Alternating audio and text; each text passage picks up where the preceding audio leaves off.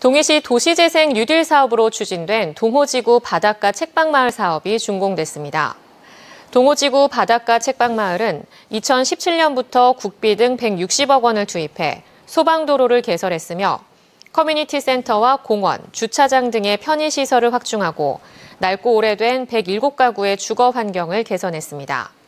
또 과거 출판사와 인쇄소 등이 많았던 동호지구의 특성을 반영해 파란 발전소를 연필 뮤지엄으로 만들고 빈집을 리모델링한 숙박 공간 local stay를 조성해 운영합니다.